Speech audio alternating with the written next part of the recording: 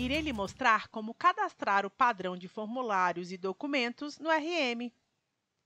Através desta funcionalidade, poderemos cadastrar os padrões de formulários e documentos que serão utilizados pelo hospital e poderá indicar qual tipo de etiqueta de identificação será usada nos atendimentos de pacientes internos, externos ou em ambos. Para isto, basta acessarmos o menu Cadastros, selecionarmos Outros cadastros e Padrão de formulário e documento. Clicamos no Mais para realizarmos o cadastro.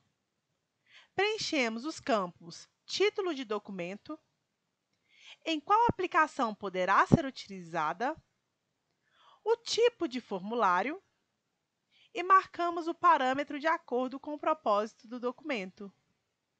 Na aba Formato, criaremos ou colamos o formato do padrão que desejamos. Após finalizado, clicamos em Salvar.